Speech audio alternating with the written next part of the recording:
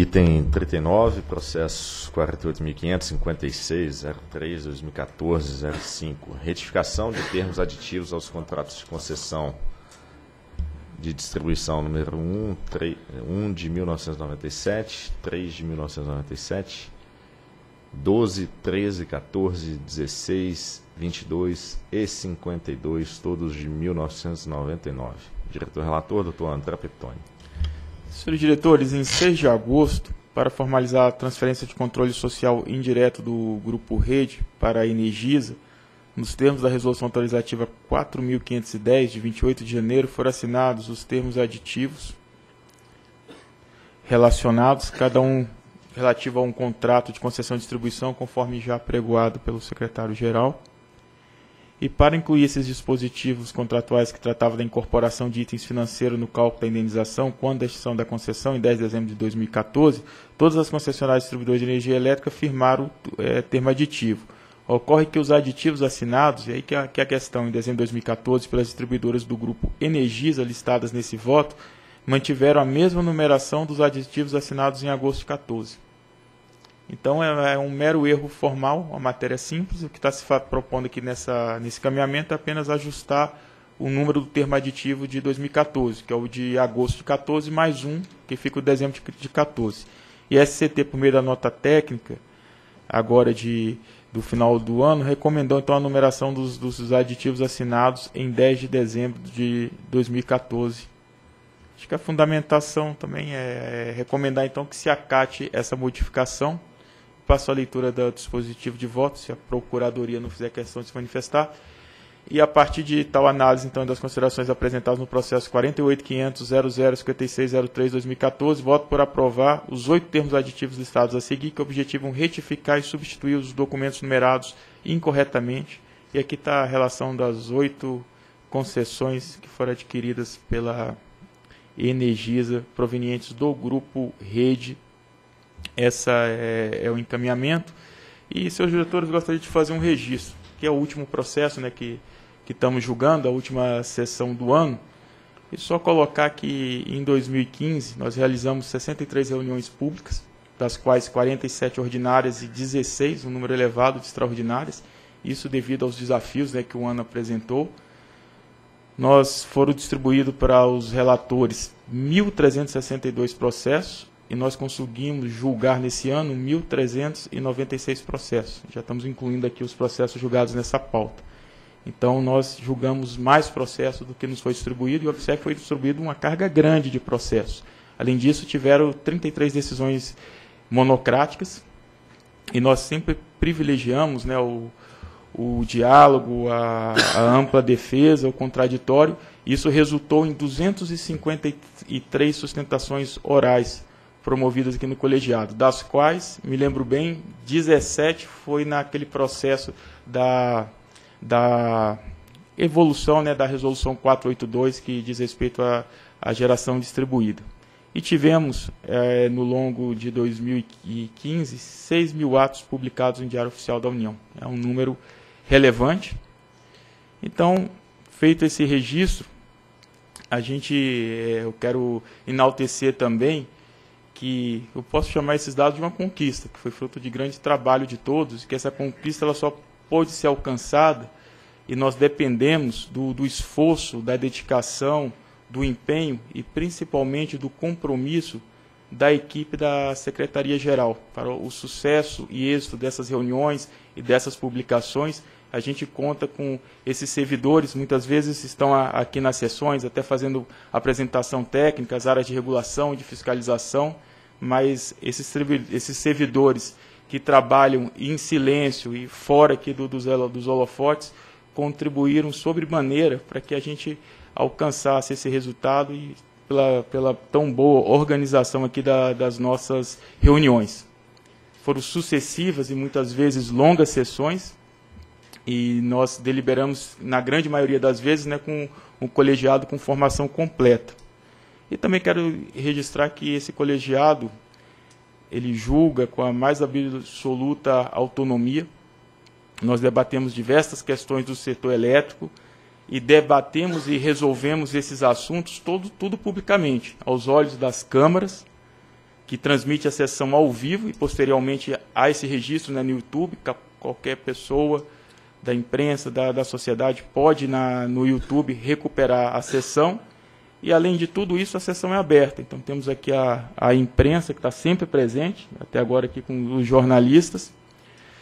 Temos o, o, o, público também, a sessão é aberta, mas eu quero também registrar é, o papel da imprensa ao longo desse ano. A imprensa que cobre a ANEL, ela sempre deu o devido destaque e importância às matérias aqui tratadas, e tudo isso compatível com a relevância e a oportunidade de cada tema, fazendo um, um grande trabalho de informação para a sociedade brasileira.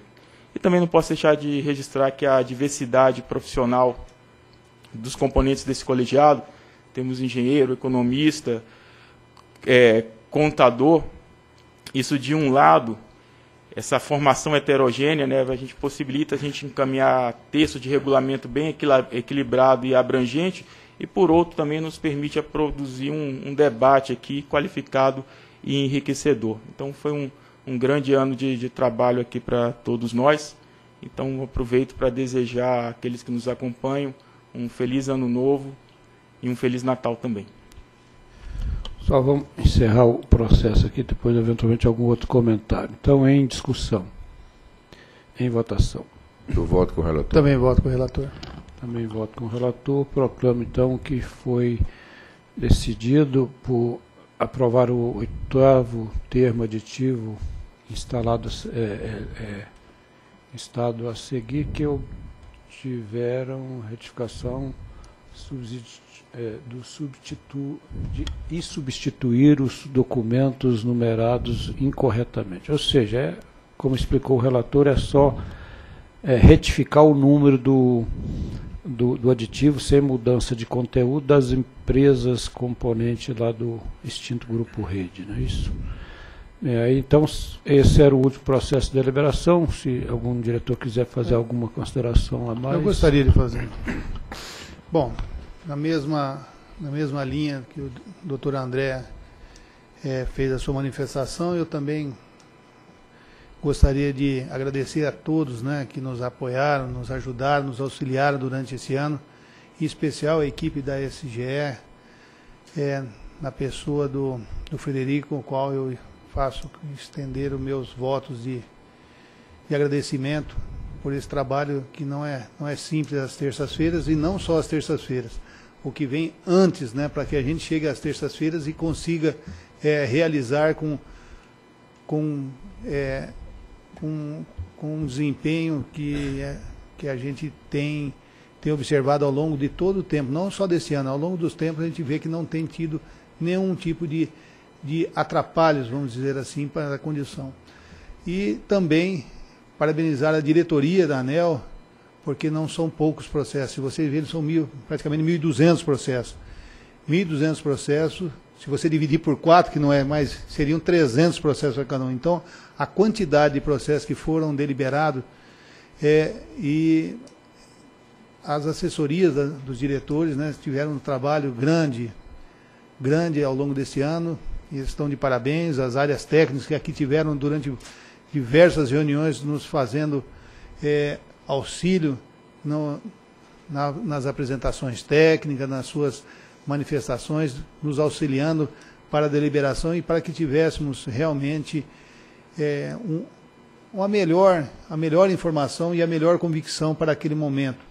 Tivemos inúmeros processos difíceis esse ano, não foi um ano fácil, nem para o setor elétrico, muito menos para a agência, nós decidimos foram processos muito complicados, é, mas é para isso que estamos aqui. Né? Foi para isso que nós fomos sabatinados, foi para isso que, a, que o Congresso, é, o Senado, ele depositou confiança em cima desses diretores. É, gostaria de agradecer a todos do setor elétrico que aqui estiveram né, e estão nos acompanhando por esse ano e também desejar um Feliz Natal e um próximo ano novo a todos. Muito obrigado. Eu também gostaria de colaborar as palavras é, proferidas aí pelo diretor André, pelo doutor Jurosa. É, nós saímos hoje com a sensação do dever cumprido. Né? Foi intenso o ano de 2015, né?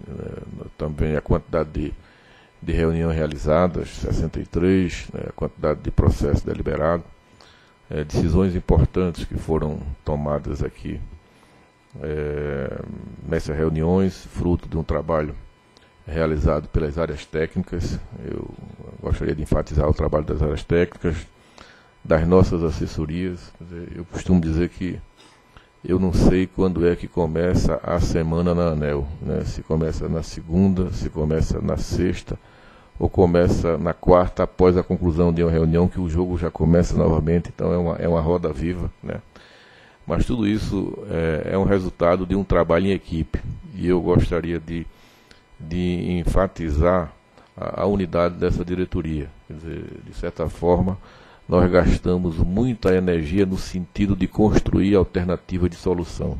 É, em nenhum momento nós identificamos aqui é, utilizar as parcas de energia que nós dispomos para se fazer é, um trabalho que não viesse a somar, que não viesse a construir. Então tudo isso é fruto dessa unidade. Eu estou fazendo parte pela primeira vez dessa diretoria e gostaria de destacar essa, essa unidade. Né? Evidentemente que nós temos um espaço de fazer o contraditório, mas quando nós chegamos aqui, nós produzimos alternativa solução. E essa, essa mensagem nós estamos passando para o mercado. Dizer, o mercado entende que existe um momento de debate, existe um momento de discussão e existe um momento de construir solução. Então, eu reputo que nós construímos muitas soluções, tomamos decisões importantes ao longo de, de 2015 e tudo isso fruto de uma sinalização é, muito bem definida que foi dado para as áreas técnicas. As áreas técnicas trabalham com orientação muito bem definida.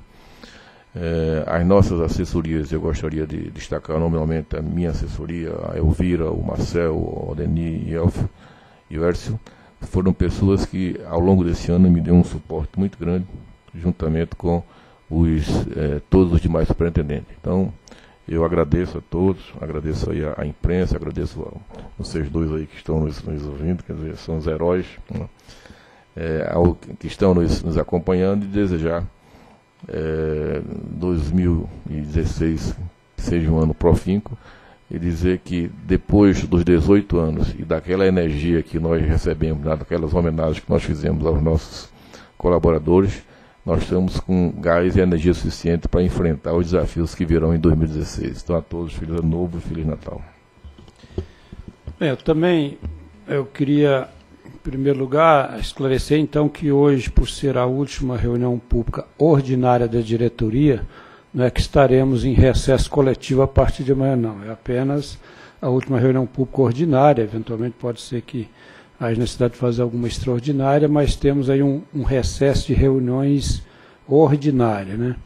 Então, também gostaria de registrar o que subscreveu, que já foi dito pelos diretores, que realmente foi um grande desafio, que eu acho que ficamos também, fico com a sensação de dever cumprido. A ANEL acho que correspondeu aí às expectativas, deliberando assuntos realmente complexos, por vezes não bem compreendido, mas faz parte do processo não temos a pretensão de que todas as decisões agrade a todos, é inerente ao papel de um órgão regulador é, pontuar suas decisões no que representa o equilíbrio entre os diversos interesses. Então, eu costumo brincar que é importante é que seja equilibrado, até no desagrado da decisão da ANEL. Se um a, aplaude e outro fica chateado, talvez não tenha ali o equilíbrio. Então, isso faz parte do nosso papel.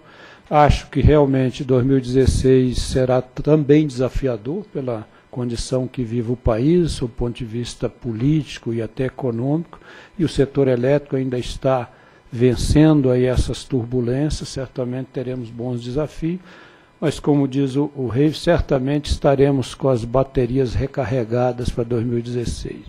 Então, gostaria de agradecer toda a equipe ANEL, que de alguma maneira contribuiu para o sucesso dessa, de, desse objetivo alcançado, e, e, um, e um reconhecimento e um agradecimento especial aqui à mídia impressa que nos acompanha, é, especialmente a, a, os profissionais que são mais especializados no setor elétrico. Então, agradecer e reconhecer um trabalho extraordinário que eles fazem e a ANEL faz esse grande esforço na transparência dos seus atos. Eu, particularmente, tenho toda à disposição e boa vontade de atendê-los quando tem alguma dúvida, dentro de um relacionamento profissional. E quero aqui eh, registrar o meu reconhecimento pela competência, pela lealdade, pela correção na abordagem das matérias que aqui tratamos. Eu, particularmente, acho que eh, eh, vocês têm sido muito fiéis àquilo que a gente discute, àquilo que a gente esclarece, tem sido realmente muito profissional, então merece todo o meu reconhecimento, o meu elogio. Então, dito isso, eu acho que, desejando, a exemplo dos diretores, a todos um 2016, um Feliz Natal 2016, com muita saúde, muita disposição, muita força para vencer os nossos desafios, não é isso? Então, um bom almoço a todos e está encerrada essa 47ª reunião pública ordinária da diretoria.